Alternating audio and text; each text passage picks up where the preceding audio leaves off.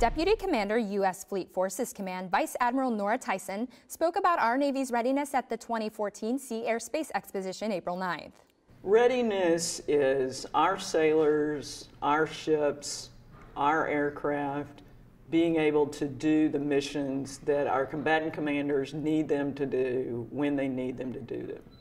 So it's the right people in the right place at the right time with the right training on platforms that we have maintained, that we modernize, that are ready to go fight and do whatever we need to do when we need them to do it.